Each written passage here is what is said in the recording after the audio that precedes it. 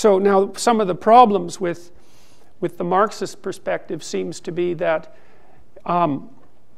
victimhood, a sense of enhanced victimhood, tends to produce an intense sense of resentment, and that's a very bad idea because resentment is a very toxic and violent emotion. It's also very ungrateful, which is one of the things I would really say about especially the radical left student types, especially at Ivy League universities. I mean, it's really quite a spectacle to see people at places like Yale come out and agitate as a consequence of the realization of their own oppression, when by any reasonable standard, current or historical, they're probably in the top one one hundredth of a percent, perhaps better than that, of all the people who have ever lived anywhere, ever. And so it really, it's really it's really quite staggering to me that the top 0.001% can express their resentment about the top 0.0001% in such strident terms without noticing that exactly the same claims of privilege apply to them by as long all, all you have to do is transform the the, the bin in which you're doing the, the privileged comparisons, and that becomes immediately self evident. And, you know, the fact that as Americans, let's say, or as North Americans, since I'm a Canadian, that we're staggeringly privileged compared to the rest of the world is certainly a consequence of, the, of what you might describe as the arbitrariness of our political borders. And so, but to forget that when you're claiming a particular brand of oppression for yourself seems to me to be very ungrateful at the least, and certainly motivated, let's say, politically, because I think it justifies your expression of hatred for those that tiny fraction of people who are still better off than you, and also a degree of historical ignorance that's absolutely staggering in its magnitude, and a complete indictment of our education system, which should be indicted in every possible way. So, now, the Marxists might claim to their benefit, let's say, with this worldview of class struggle as being the primary driver of human history and the well off socioeconomically, because that's pretty much the only way they define well off, which is also something I take great objection to because there's lots of hierarchies in the world and there are many important hierarchies, and not all of them can be reduced to socioeconomic status by any stretch of the imagination. Imagine if you were 80 years old and you had $20 million, you know, you might be perfectly happy to get rid of all that money if you could be 18 again. So it's, and you know, one of the best predictors of wealth in North America is actually age, because you know, young people haven't actually had much time to make money, whereas old people have had quite a bit of time. But the problem with being old and rich is that you're still old. And that actually turns out to be quite a serious problem because uh, no matter how rich you are, you eventually die. And so the money, is, the money has a very delimited, if, delimited effect with regards to addressing the fundamental problems of the suffering of life. And we know perfectly well from the empirical perspective that once you have enough money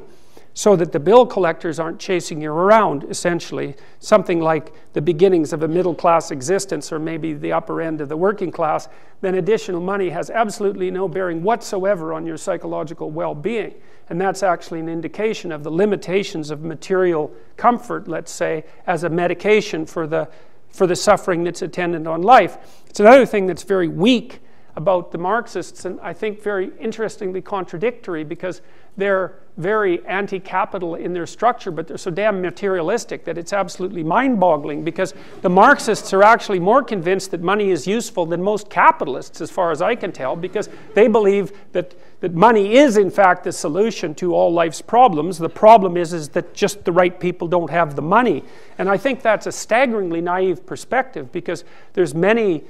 there's many problems in life that money just cannot solve, and there's a fair number of them that it actually makes worse. So,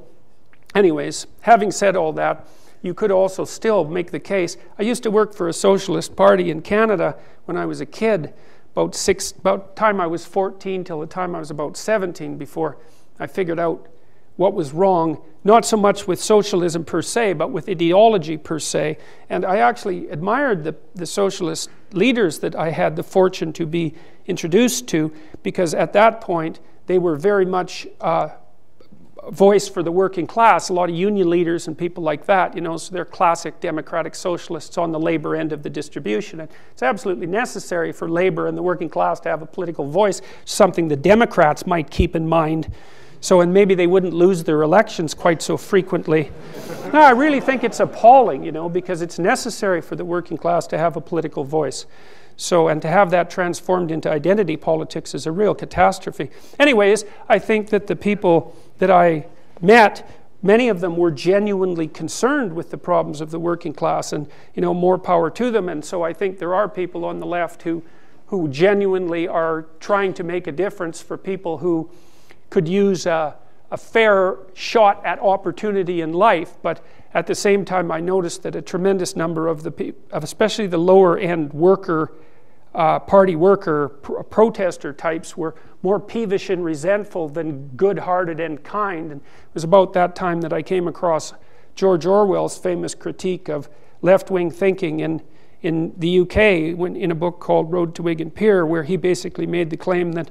the socialists that he knew, especially the middle class ones, didn't give a damn about the poor, they just hated the rich. And that's, I mean, that is something worth thinking about for a very long period of time because hatred actually turns out to be a very powerful motivation.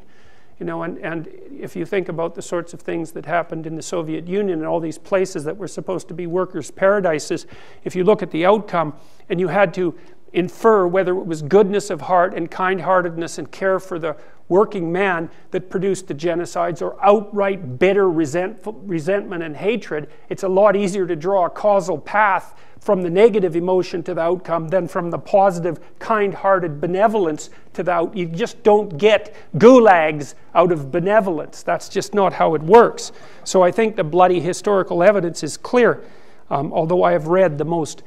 convoluted, pathological, pathetic, twisted rationalizations of what happened, stay in Stalinist Russia, that you could possibly manufacture. It's as if an, a stack of corpses that would reach halfway to the moon isn't enough evidence for the pathology of a certain form of belief. So, well, some people can't be convinced by anyone's death but their own, I suppose.